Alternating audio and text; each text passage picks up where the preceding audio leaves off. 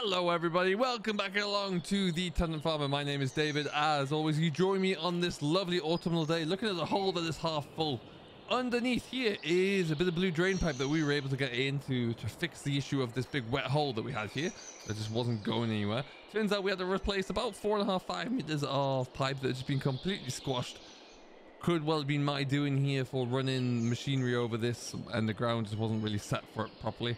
Uh, mind you, people have been doing that for quite some years on this uh, stackyard. So, you know, anyway, that's by the by, it's happened and we've been able to fix it. So, we've had a little bit of a dabble with the machine there to try and get this filled in, but it's just a bit tough going. So we're going to try and use the, the Massey and see how we get on here with the front loader on. When we get this all filled in, we're going to spread a bit more stone around just to really bring up the level of that uh, stackyard.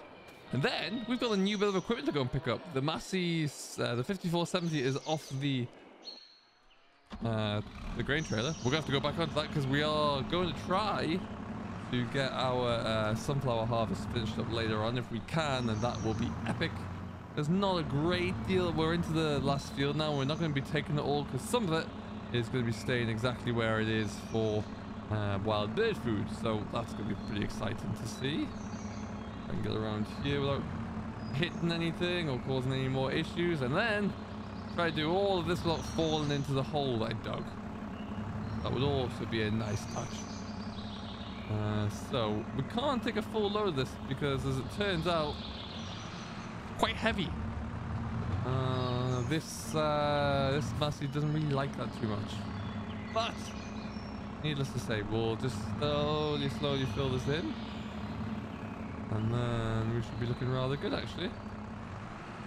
Uh, and once this done, like I said, once this is done, we're going to really raise up the level of this. As you can see, it's sunk down quite a little bit in places, and you only realize how far it's gone once you start to strip back some of the stone. So we're able to do that, and we, we've been able to see just the extent of what really lies uh, ahead. So, ooh, we've got quite a heavy load here. And we'll just take it slow with the bucket on the floor.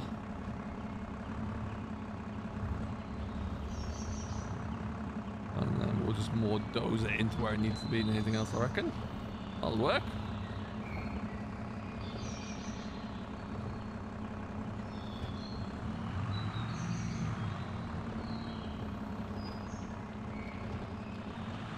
There you go. Perfect. Excellent stuff. Yeah, otherwise we've been we've been quite successful with this. We finished up that first field of sunflowers there. Results weren't all that bad actually, considering that we didn't really put any input in there. I'm quite impressed with how it went. Uh, and then we've been able to shift the combine over to the second field. Uh, but I did get a call from the dealer this morning that our new bit of kit is ready to go. So we do need to go and uh, collect that. And then we can uh, just park that with for now. We will hopefully get to use it this autumn. Uh, at least that's the plan. And then we'll get to use it for sure back in the spring as well there. So we've got a lot to do. Uh, and hopefully we'll get we'll it'll really reap some big rewards for what I have in mind across the farm. Uh, and uh, we'll look forward to showing you what that looks like actually and showing you why we've made that purchase. It's the first new bit of equipment that's been purchased for the farm in my tenure uh, as a tenant here in Calmsden. So that's uh, that's very exciting. Ooh, easy does it. There you go. So we need about another bucket load at the front there. Then the rest of it's just going to get spread around a little bit. Uh, and yeah, we should be looking good. And hopefully this provides us with a little bit more structure, a little bit more flexibility. Uh, and yeah, that will just allow us to have a drier stackyard that we can use throughout, really. Uh, this bit here would always get really wet in the winter, and then the winter that we had as well, it just didn't shake that uh, the moisture, and it just couldn't get rid of it all. And then it turns out that that drain pipe had just been completely plunged in, so perhaps that was why. Uh, but anyway, we're going to do a little bit more shunting around here, backwards and forwards, get this all leveled up. Uh, a little bit of work to do. We'll try and run that dozer over a few times as well, I think, just to really get it dialed on in there. And we shall see what it looks like. We shall see you all later on. Well, do you know what, folks? It's not perfect, but it's a darn sight better than what it was. Uh, there's a little, ran out of stone, really. There's a little bit of a hollow there that we want to get figured out. But we also need to still, at some point, put the fence back in. So we can get that done. Uh, what we might do is take the stone that we've got over there, which is not quite so clean, and uh, try and get that screen through a little bit, or shake out some of the dirt where we can. But yeah, it's ultimately, as a whole, I think it's looking a lot, lot better actually. Uh, and that is going to be a much cleaner, drier hard stand for us there. So I am a big fan. Now, I must go and jump in and go and pick up our new shiny bit of equipment. So we're going to jump on into the 5470 fire here up as well. Uh, uh, it's yeah, it's not too far to go to the dealers. Uh, really isn't much of a trek. We're going to pick this up and then we're literally just going to park up in the shed uh, and come back to that a different day because we do need to go and hopefully finish harvest off for the day, so or for the season. Uh, so that'd be cool if we can. Uh, and then yeah, we are still a little undecided what we're going to do with some of our fields if we're going to put them into a cover crop or not, uh, and then drill them for some spring drilling. Uh, we've got that one field of winter barley which has come along and it's looking very good actually. So we'll have to see how the rest of them go and see if it's worthwhile investigating that as an option. But for now, at least, uh, we we at least get that field cleared. I have decided, and I'll show you which area I'm looking at. But the field that we're going into, which is around about the 17, 18 acres, I think we're going to leave best part about six acres down one side. Uh, and that is going to eventually, or it's going to be left for all the, the winter uh, nesting birds. And it's going to be a good source of feed for them. Uh, so, obviously sunflower seeds are all just seeds, birds like to eat seeds. Everyone's a winner. Uh, so we're going to put that down in our uh, and, and, change the classification of that section of the field for this uh, this year. Uh, so it gets recognized as like a wild bird feed plot, and then we'll put the rest of it into a into hopefully maybe winter barley, but we'll see. So that's the plan. The cattle or the, the beef stock are getting dangerously, dangerously close to needing mucking out, so we have to cart some muck sometime in our future. So we'll have to get that one all sorted out, but just desperate to get this harvest finished so we can move on get it done, stop worrying about it, and move on to the next step there. So that'll be something we have to think about moving forward there as well.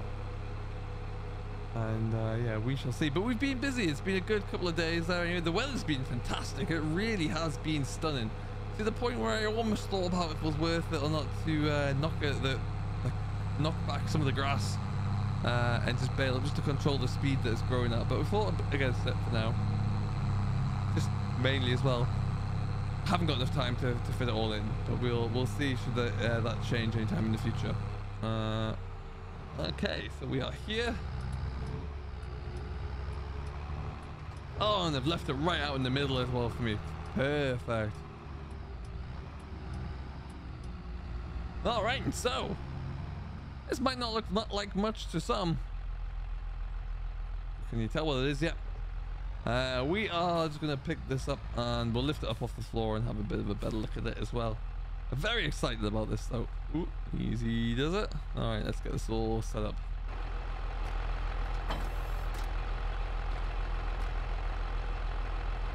All right, so this is the Evers minimal low disturbance subsoil flat lifter, really.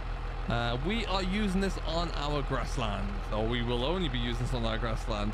Very simple machine, very good at what it's uh, designed to do there, and perfect for restoring grassland and drainage within grassland, reducing compaction. That is going to be the key thing. These discs at the front uh, slit through the soil there, provide a bit of an easier path of resistance for the, the main legs, uh, which then go through, rip through that, lift up that compacted um, pan, and then the rollers behind come and press everything back down again so it's left nice and even. This will be used for us uh, pre predominantly on all of our pastoral land. Uh, and what we're going to be doing is we're going to be reseeding, we're going to be stitching grass back into some of this land, but we just don't, I don't want to plow. I want to do as much minimum tillage as possible. So the idea being that this replaces the need of that plow. It still keeps the grass, um, a grass cover across the field there. It allows you to effectively achieve the same job in some instances as the plow would breaking up through that compaction there, ripping through it there, easing it all out, but it just doesn't bring along the same issues in terms of perhaps soil erosion there, uh, additional compaction uh, that you may get from plowing, um, where it just bring a different kind of a, a pan there in and you get the wheelings to go with it. We don't have a plow, so we have to get a contractor in for the cost of that. Fuel prices are going through the roof, which means the contractor's prices are also going through the roof at the moment. Uh, so it this should allow us to be able to pull it on the back of this tractor, uh, all the fields have had heavy grazing on them. Uh, livestock, particularly cattle, do plunge around a lot when the ground gets wet there, so they can cause a lot of compaction on their own. So this allows us to really alleviate all of that. Uh, we are going to be looking to get someone in with a direct drill to stitch some grass seeds in over the top of it to really uh, increase the, the quality of the grass layer that we have. And so these this machine and that reseeding there will go hand in hand. So it's going to be really, really interesting for us. Really looking forward to see how this works. In the next couple of days, we're going to set that at the old uh, stable field. Uh, that was once upon a time uh, had a, an equestrian center in there. Uh, it's showing the signs of it. The grass doesn't grow very well in places at all. Oh dear. Uh, uh, so this is going to be a great opportunity to see if we can really lift up that soil there and break through that compaction, particularly where they had their arena. Uh, we'll reseed it all and we'll see how it looks and we can have another good strong field for us. So that is the plan. Looking forward to seeing how it uh, works out. Obviously it might take a little bit of time and that's absolutely fine for us to get going. But like I said, unfortunately today, we're not going to get too much of a time to play around with it there. Uh, I'm hoping that this mini digger and the dumper disappears soon enough. So we are going to get this all put away. We'll park this up in the shed. And then we can look at just trying to uh, get on with the harvest there, really. Uh, cattle here are looking great. They really are. Uh, I think... Get in front of the woofler there for now. That should be fine.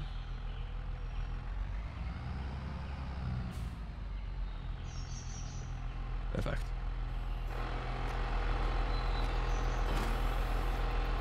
Yeah, very simple design. Very lovely little bit of equipment there. Very, very happy with it, actually. And also, not too ex expensive. That's part of the reasons why we went for it in the end, just because of the... Uh, we did a bit of a cost-based analysis on it, really, and it just made sense for us, really. We could see, hopefully, a large, large improvement in our soil, qual soil quality, therefore grass quality, uh, and hopefully, really, if you if you extrapolate that out into uh, quality and quantity of milk production and also the beef quality as we finish our beef cattle off there. So all very good indeed. Now, what we'll do is I'm just going to get this all turned around and then we're going to go off through the, the hay meadow off into the, uh, the sunflower field. We'll have a bit of a walk through that to go and seek the combine get the plan going and get ourselves started with the last of the harvest. Uh, this yard is always a little tight, but we'll make it work.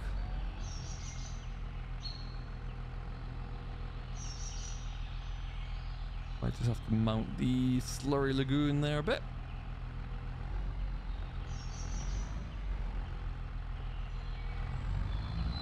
Stuff.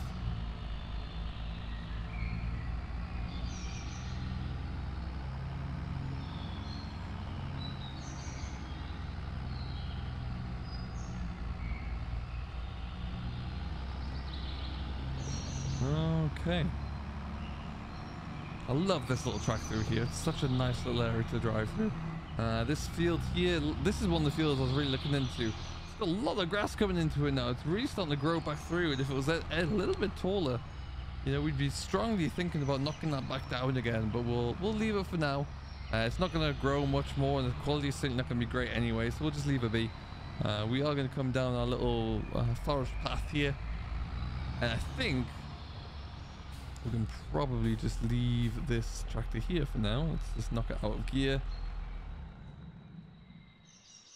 Handbrakes up. Perfect. We'll go for a walk. Uh, so this is the field that we need to harvest. And as I mentioned, we're going to leave about six or so acres of it. Uh, so what we're going to end up is leaving all the strip along by the wood side here. I think that makes uh, sense. Uh, for the shelter. We'll probably end up coming out to about here, I think, and going all the way along. So that's going to be the plan. As you can see, all these heads are dripping over now, which and all the seeds are almost falling out there, really. So it's prime time to harvest it. Also, the seeds will just drop to the floor, or they'll just stay in the in the shells there, and birds can pick away at them to the heart's content. And I'm more than fine to leave that for them.